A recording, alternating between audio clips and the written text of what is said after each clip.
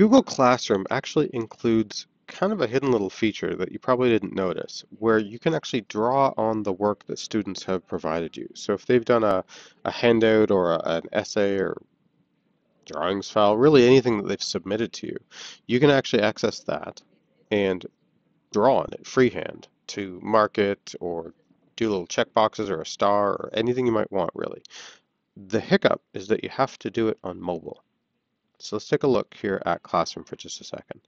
I've got Classroom going, and in our current classroom right here, I've got some classwork I assigned, and I had assigned this little like fake history essay. I've got one assigned and one already graded. So if I jump to that, I can see right now my Elena student has it assigned to her. Click on her, just refresh real quick. There's the document, and I've already marked it for this other account. So I'm going to work with Elena's account.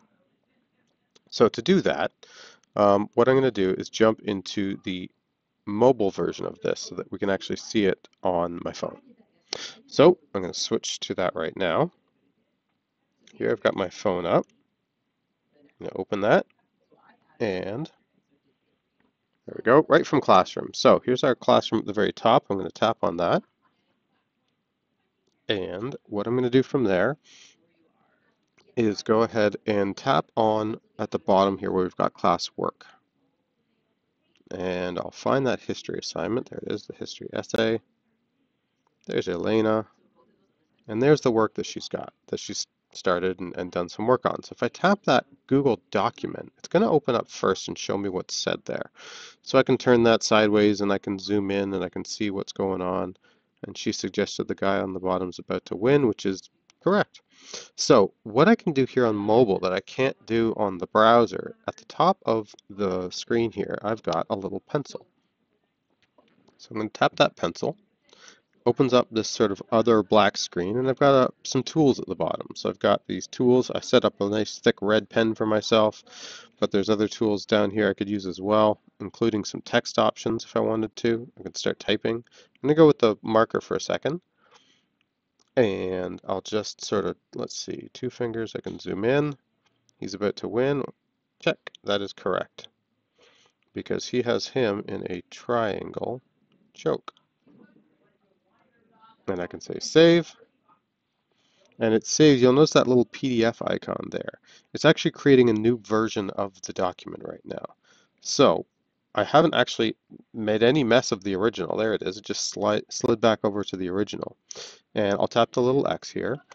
And we see now in Classroom, there's actually two files sitting there instead of just the one from before. So let's take a look at that on actual Classroom here. If I go back to my regular Classroom in the browser, I can now see there's actually two files attached here. So there's the one that she had originally worked on, and now there's this one that I have edited, essentially. I've done some markup on. So I can click that and open it up, and it's a PDF sort of version of it, or at least it will be. Uh, right now I'm looking at the document version. You can see that over on the right side here. Um, but when I click here on the PDF option, it's going to open what I had already worked on. And here I can see there's my little check and my triangle that I drew on there. So if there's any little tweaks and modifications or something I want to remind myself about there when I turn around to do my grading, then I can do that. Look at the grade and be like, oh, good, right, that's what I'd said. And maybe I did that sort of on my phone, like I did here, or I did that on an iPad possibly, would be a lot easier, I would think um, to do that kind of thing and then leave my little comment. Great work.